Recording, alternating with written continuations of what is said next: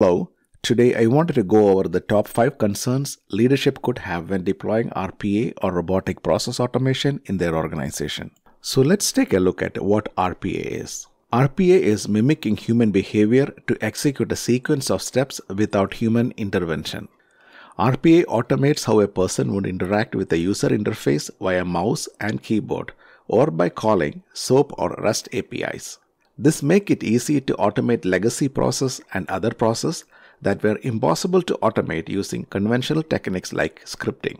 UiPath, Automation Anywhere, Blue Prism are some of the leading RPA platforms in the industry.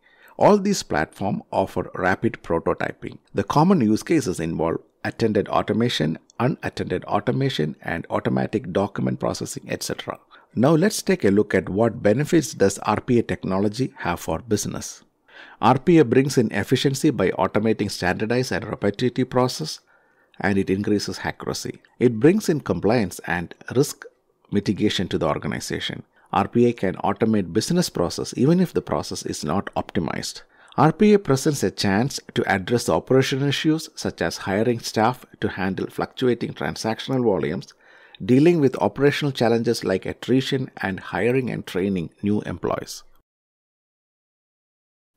Although RPA has several advantages, in some cases RPA should be avoided. 1.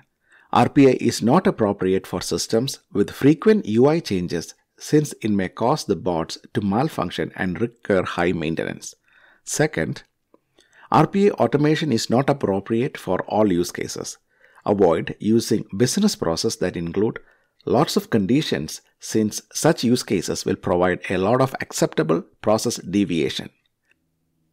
Finally, if the system already has solid API or other automation approach, use that automation and not RPA. The third concern leadership could have is regarding the cost. So what is the cost of implementing this technology? We know RPA can automate process without changing the underlying system components. However, many factors need to be considered when it comes to cost. Cost considerations include software cost as well as the cost associated with developing and implementing the bot. Infrastructure expenses for on-site or cloud hosting should be taken into consideration. In short, calculate the total cost of ownership of automation and efficiency gain delivered by RPA. Now let's take a look at what implementation strategy performs best for RPA.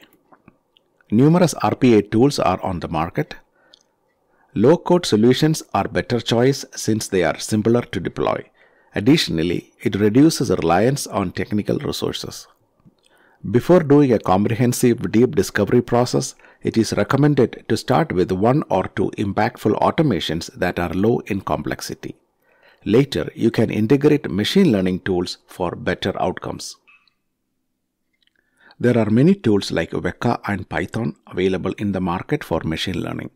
If you wanted to have a fundamental understanding on machine learning, I will provide a link to my video in the description. Finally, we will talk about the challenges in implementing RPA. Like any new technologies, various issues might occur when deploying the bot into production. Only when the team has had some real-world experience, they will be able to decide which strategies works best for getting through these challenges.